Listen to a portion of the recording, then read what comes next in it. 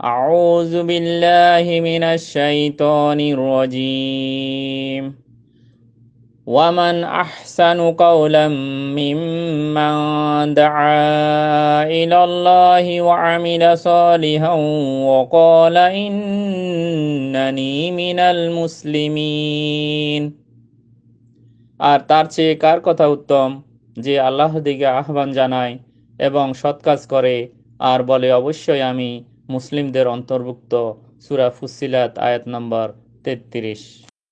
ওয়ালাইকুম আসসালাম রহমতুল্লাহ বারকাত সৌদি আরব থেকে জনাব সাহিদ ভাই জানতে চেয়েছেন, স্বর্ণ এবং ক্যাশ মিলে পাঁচ লক্ষ টাকার জাকাত এবং চোদ্দ লক্ষ টাকার জমি, ফসলি জমির জাকাত কীভাবে দিতে হবে?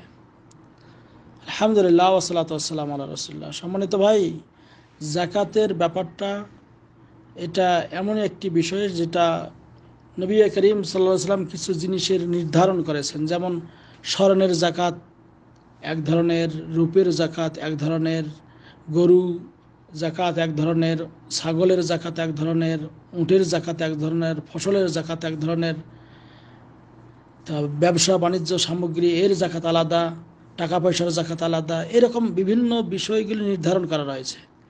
কাজেই সব মিলে আপনার, বিশেষ করে যেমন স্বর্ণের কথা বলছেন, স্বর্ণ কারও কাছে যদি সাড়ে সাত ভরি স্বর্ণ থাকে, যেটা গ্রাম অনুযায়ী পঁচাশি গ্রাম, এর কমে থাকলে তার উপর জাকাত নাই। এটা আর মিলাইতে হবে না। যেমন হাদিসে এসেছে, লাইসা আলাইকা শাইউন ইয়ানি ফি যাহাবে হাত্তা তাকুন লাকা ইশরুনা দিনারান। যতক্ষণ পর্যন্ত তোমার কাছে ইশরুন দিনার স্বর্ণ থাকবে না হ্যাঁ ততক্ষণ পর্যন্ত ওয়াহালা আলী আল হাউল, এবং এর ওপর একটি বছর অতিবাহিত হবে না। ততক্ষণ পর্যন্ত এর ওপর তোমার জাকাত হবে না। আর যে, যেটা এই ইসরুন দিনার যেটা গ্রাম অনুযায়ী পঁচাশি গ্রাম স্বর্ণ। কাজেই যদি আপনার স্বর্ণটা পঁচাশি গ্রাম থাকে, তাহলে তার জাকাত দিতে হবে। আর এর কম হইলে এটার জাকাত নাই। ওটার জাকাত দেওয়া লাগবে না। অনুরূপভাবে রূপার ক্ষেত্রে এই হাদিসটি সই বোখারি, মুসলিমে বর্ণিত রয়েছে। সরি এই হাদিসটি আবুদাউদে বর্ণিত রয়েছে। আবুদাউদ সোনানা আবিদাউদে অনুরূপভাবে সই বুখারি, মুসলিম আর একটা হাদিসে এসেছে যে রূপার জাকাতের ব্যাপারে যে লাইসা ফিমা দুনা খামসে আওয়াকেন সাদাকা। মানে পাঁচ আওয়াকের নিচে, অর্থাৎ রৌপ্য যদি পাঁচ আওয়াকের নিচে হয়, তার উপর জাকাত নাই। আর পাঁচ আওয়াক যেটা বর্তমান গ্রাম অনুযায়ী আপনার পাঁচশো পঁচানব্বই গ্রাম হয়, আর এটা ভরি হিসাবে আমাদের দেশে সাড়ে বাহান্ন ভরি রূপা। এর নিচে হলে ওটার জাকাত নাই।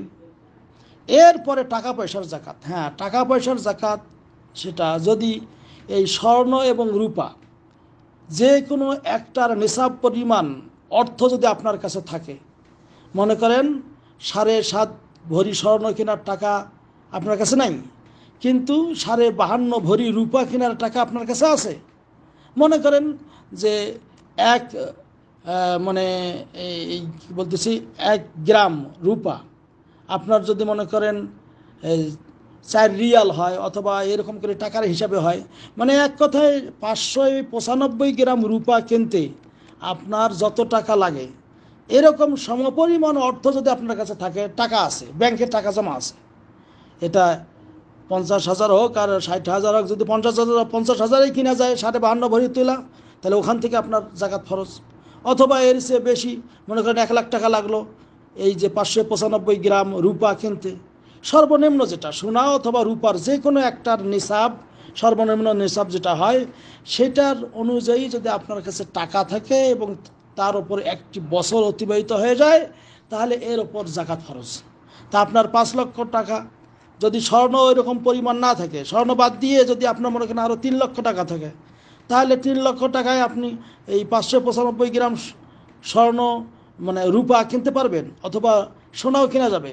কাজেই আপনার এই টাকার ওপর জাকাত দিতে হবে কি? শতকরা আড়াই টাকা। এক কথায়, যদি মনে করেন আপনার পাঁচ লক্ষ টাকা হইল, তাহলে এক লক্ষতে আপনার আড়াই হাজার টাকা দিতে হবে। হ্যাঁ আড়াই হাজার টাকা যেটা পাঁচ দিয়ে যদি গ্রহণ করেন মানে সাড়ে বারো হাজার টাকা আপনাকে জাকাত দিতে হবে পাঁচ লক্ষ টাকার কথা বোঝা গেছে এক লক্ষতে আড়াই হাজার। এক লক্ষ টাকায় আড়াই হাজার টাকা দিতে হবে। এরকম করে আপনি হিসাব করবেন।